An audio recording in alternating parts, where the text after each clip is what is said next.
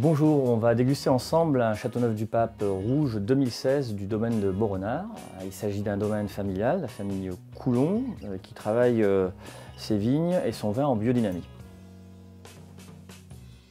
Alors on a un nez qui est euh, clairement marqué par les épices et les fruits noirs, un nez encore assez discret. C'est un vin qu'il ne faudra pas hésiter à ouvrir à l'avance, voire, voire carafer.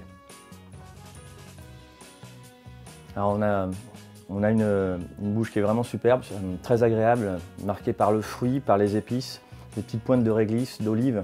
En même temps, euh, il y a cette puissance, mais il y a énormément de, souplesse, il n'y a pas de tanin dur.